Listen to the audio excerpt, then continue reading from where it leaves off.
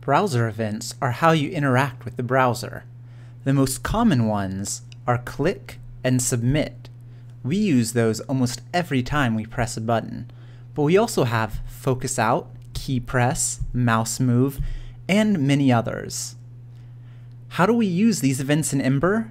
Well, traditionally, that has been done with the views, but views are being phased out.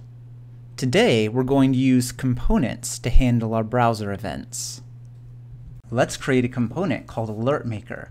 We'll give it a click method, which will capture any click browser events that occur within the bounds of the component. In this method, we'll stay true to the AlertMaker name and call an alert. We'll also give it a tag name of button, just so it's more visible. In our template, we'll create an instance of the AlertMaker component and then put some text inside it. There's our click me button. We'll click it and it creates an alert just like we expected. So clicking it creates a browser event which is then caught by the component. There is one thing you need to watch out for, event bubbling. When you initiate the click browser event, it starts at the smallest DOM element at the place you clicked, and then it bubbles up to larger elements triggering any click handlers that are on any of them. It just so happened that in the example we gave, only one component had a method that was triggered by the click event. That's not always the case. To show how this can go wrong, let's nest several alert makers.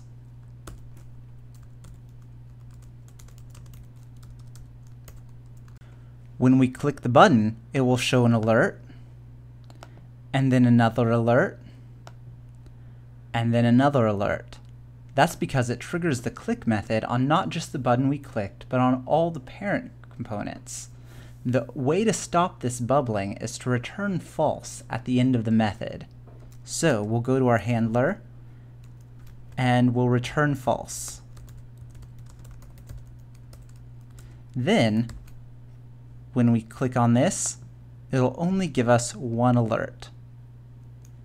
Another gotcha involves browser event defaults. We didn't encounter these in today's example, but if things are happening strangely that you don't expect, try calling event.preventDefault.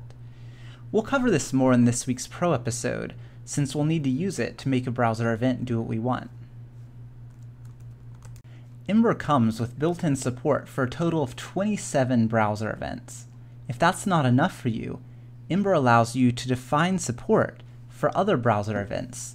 There are 160 events in the MDN documentation that are standard across most browsers, and several more non-standard ones. So that's our crash course in browser events. I hope to see you in the Pro episode where we use the built-in browser events, drag over and drop to create a drag and drop interface for a file upload. I'll see you there.